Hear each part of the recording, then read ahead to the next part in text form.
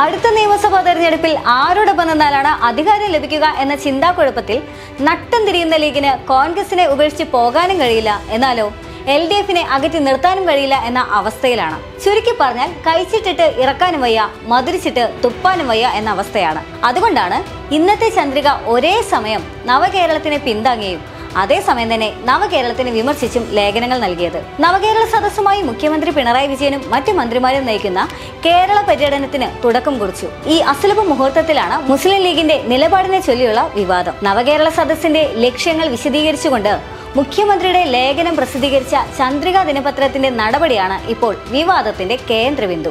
League പ്രത്യക്ഷ മുന്നണിയിലിരിക്കുന്ന സമയത്ത് സർക്കാർ അനുകൂല ലേഖനങ്ങൾ പ്രസിദ്ധീകരിക്കുന്ന പതിവില്ലെന്നിരിക്കെയാണ് ജനമനസ് അറിയാൻ നവകേരള യാത്ര എന്ന മുഖ്യമന്ത്രിയുടെ ലേഖനം ശ്രദ്ധ പിടിച്ചുപറ്റുന്നത് കേരള ബാങ്ക് ഡയറക്ടർ ബോർഡ് സ്ഥാനത്തേക്ക് ലീഗ് നേതാവ് അബ്ദുൽ ഹമീദ് മാസ്റ്ററെ ഉൾപ്പെടുത്തിയതും ഇടതു മുസ്ലിം ലീഗ് പ്രവേശനത്തിന് ശ്രമിക്കുന്നു എന്നിങ്ങനെയുള്ള ചർച്ചകളുടെ പശ്ചാത്തലത്തിലാണ് ലേഖനം പുതിയ വിവാദത്തിന് തിരികൊളുത്തുന്നത്. എന്നാൽ മുഖ്യമന്ത്രിയുടെ ലേഖനത്തിന് താഴെ നവകേരള സദസ്സിനെ വിമർശിക്കുന്ന ജനവിരുദ്ധ നയങ്ങൾ മറച്ചുവെക്കാൻ നവകേരള സദസ്സ് എന്ന പേരിൽ മറ്റൊരു ലേഖനവും ചന്ദ്രിക പ്രസിദ്ധീകരിച്ചിട്ടുണ്ട്. ഇരുകൂട്ടർക്കും വിഷമം വേണ്ടല്ലോ. എന്നാൽ ലീഗ് മുഖ്യമന്ത്രിയുടെ ലേഖനം പ്രസിദ്ധീകരിച്ചതിൽ തെറ്റില്ല എന്നാണ് മറ്റൊരു വാദം. നവകേരള സദസ്സ് എന്നത് സർക്കാരിന്റെ പരിപാടിയാണ്. ഇത്തരം പരിപാടികളുമായി ബന്ധപ്പെട്ട് ലേഖനങ്ങളും പരസ്യങ്ങളും എല്ലാ പത്രങ്ങളും പ്രസിദ്ധീകരിക്കുന്ന പതിവുമുണ്ട്. ഇത് പത്രങ്ങളുടെ വരുമാനവും പരസ്യവുമായി ബന്ധപ്പെട്ട് കിടക്കുന്നതാണ് എന്നതാണ് ആ വാദം. അതിനിടെ സമസ്ത മുഖപത്രം സുപ്രഭാതം നവകേരള സദസ്സിനെ രൂക്ഷമായി വിമർശിച്ച് രംഗത്തെത്തിയിരിക്കുകയാണ്.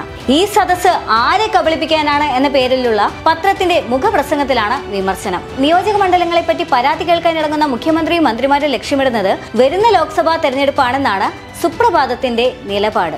നിത്യചെലവിന് പണമില്ലാത്ത സംസ്ഥാനം കുഴങ്ങുമ്പോൾ നൂറ് കോടിയോളം രൂപ ചെലവിട്ട് നവകേരള സദസ്സ് സംഘടിപ്പിക്കുന്നു. നവകേരള സദസ്സിന്റെ ചെലവിലേക്ക് സ്പോൺസർഷിപ്പിലൂടെ പണം കണ്ടെത്താനുള്ള നിർദ്ദേശം ചങ്ങാത്ത മുതലാളിത്തമല്ലേ എന്ന സംശയം സർക്കാരിന്റെ രണ്ടാം കക്ഷിയായ സി പി ഐക്ക് പോലുമുണ്ടെന്നും സുപ്രഭാതം കുറ്റപ്പെടുത്തുന്നുണ്ട്. ഏകീകൃത സിവിൽ കോഡ് പലസ്തീൻ വിഷയങ്ങളിൽ സി പി ഐ സംഘടിപ്പിച്ച പൊതുപരിപാടികളിൽ സജീവമായി പങ്കെടുത്തിരുന്ന സമസ്ത ഇ കെ വിഭാഗമാണ് നവകേരള സദസ് വിഷയത്തിൽ രൂക്ഷമായ വിമർശനം ഉന്നയിച്ചിരിക്കുന്നത് എന്നതും വളരെ ശ്രദ്ധേയമാണ്. അതിനിടെ കേരള ബാങ്കുമായി ബന്ധപ്പെട്ട് ഉയർന്ന വിഷയങ്ങളിൽ അനാവശ്യ ചർച്ചകൾ വേണ്ടെന്നും മുസ്ലിം ലീഗ് യു ഡി എഫിന് ഒപ്പമാണെന്നും പി എം എസ് എല്ലാം പ്രതികരിച്ചിരുന്നു. വിഷയത്തിൽ കേരള ബാങ്ക് ഭരണസമിതിയിലെ മലപ്പുറത്ത് നിന്നുള്ള പ്രതിനിധിയെക്കുറിച്ച് പാർട്ടിയോട് സർക്കാർ ചോദിച്ചിട്ടില്ല എന്നും അദ്ദേഹം ചൂണ്ടിക്കാട്ടിയതാണ്. കേരളത്തിൽ നേരത്തെ സ്റ്റേറ്റ് സഹകരണ ബാങ്ക് എന്ന സംവിധാനം ഉണ്ടായിരുന്നുവെന്നും ഇതിലും പതിമൂന്ന് ജില്ലകളിൽ എൽ ഡി എഫ് പ്രതിനിധികളും മലപ്പുറത്ത് നിന്നുള്ള ലീഗ് പ്രതിനിധിയുമായിരുന്നു ഉണ്ടായിരുന്നത്. കേരള ബാങ്ക് വന്നപ്പോൾ ആ സാഹചര്യം തുടർന്നു. എന്തായാലും നേരത്തെ സൂചിപ്പിച്ച പോലെ മുസ്ലിം ലീഗിന്റെ ഈ രണ്ട് വെള്ളത്തിലും കാലിട്ട് നിൽക്കുന്ന നിലപാട് കൊണ്ട് അടുത്ത തെരഞ്ഞെടുപ്പിൽ ഗുണം കാണുമോ എന്ന് കണ്ടു തന്നെ അറിയാം.